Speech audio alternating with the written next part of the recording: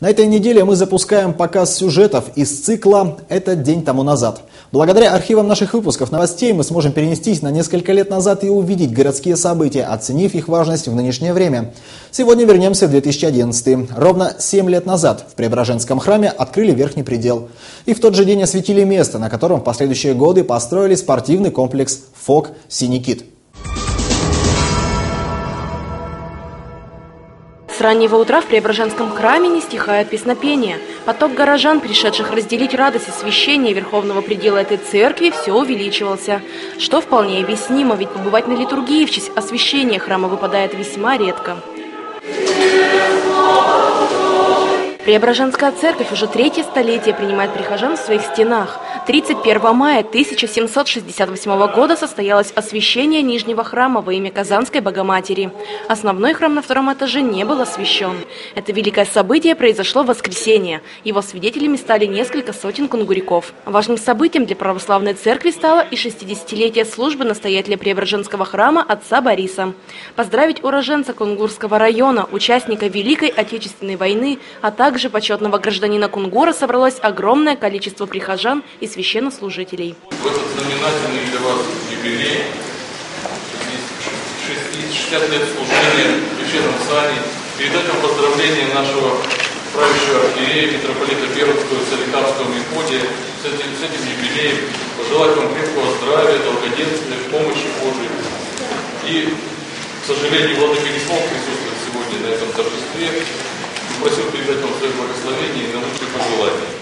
В этот замечательный день от всего сердца желаю вам доброго здоровья, больших жизненных сил. Пусть всегда окружает вас любовь близких и поддержка друзей. Тепла и уюта вашему дому, успешного совершения всех добрых начинаний. Дай вам Бог сил продолжать ваше служение на радость всем нам. В этот же день отец Борис был награжден орденом первой степени Русской Православной Церкви святого благоверного князя Даниила Московского. Прихожане очень рады, что отец Борис, несмотря на свой солидный возраст, продолжает служить своему делу, несет в мир духовность и доброту. Я отца Бориса знаю очень много лет.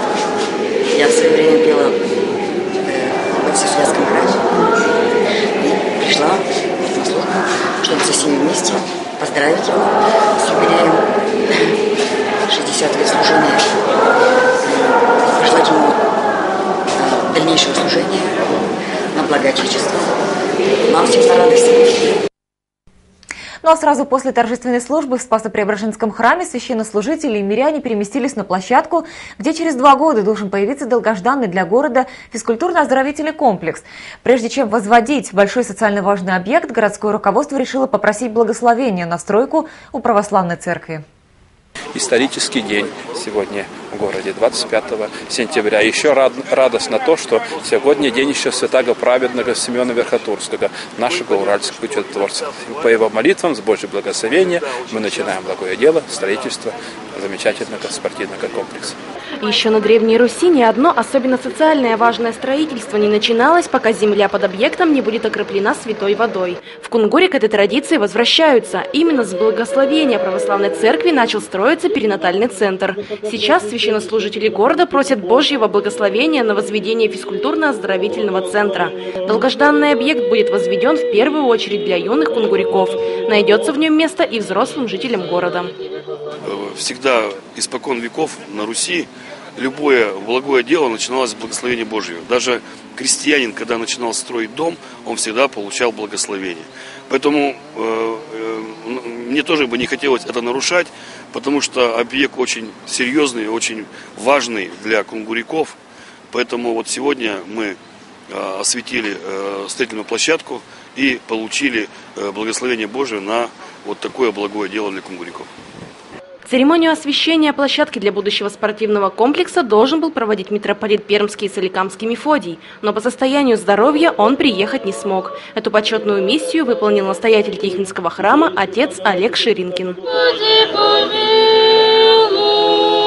Всех вас, дорогие, поздравляю с началом большого, великого дела. И будет не только для кунгуряков польза, но и засыльвинской части города Кунгура будет великое украшение и утешение. Комплекс, который будет возведен на этом месте, город ждет уже не один год.